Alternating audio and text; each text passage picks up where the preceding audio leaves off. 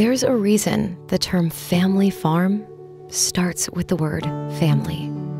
Because it takes a family sized sacrifice to make it all work.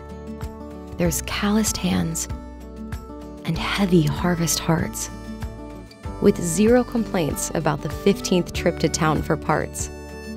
It's hours spent making meals for 20 minute sunset dinners served on wheels.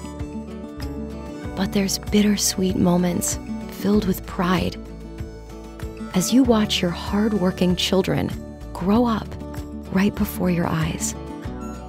There are long days filled with doubt and sleepless nights spent hoping those stubborn boys just get home safe.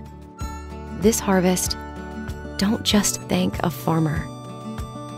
Thank the kids who give up their childhood comforts to keep their dad's company in the combine.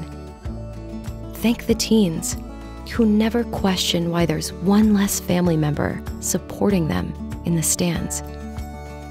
Thank the hired hands who may not share the same last name, but whose hard work and loyalty make them family forever.